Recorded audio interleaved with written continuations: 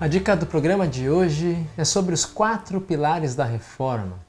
Nós temos, na verdade, dentro da, do movimento da reforma da igreja cristã, três ou quatro pilares, e esses pilares se fundamentam em quatro verdades principais. O primeiro pilar é somente a graça.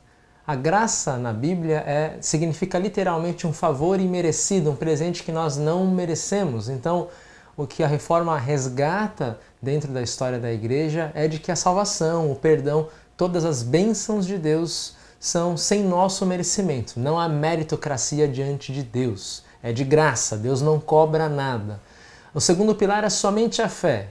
Isso significa o quê? Que assim como nós não temos nenhum mérito diante de Deus, nós não somos, não temos como chegar e comprar algo de Deus, é pela fé que nós recebemos o perdão e a salvação.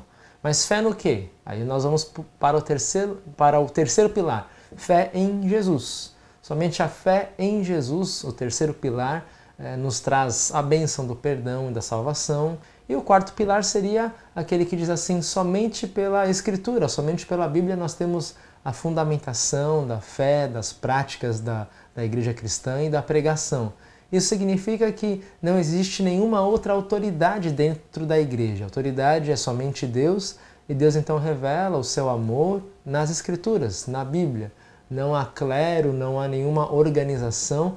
É nós, seres humanos, diretamente com Deus. Aí nesse ponto, a função de um pastor ou de um padre não é intermediar os fiéis de Deus, o mundo e Deus.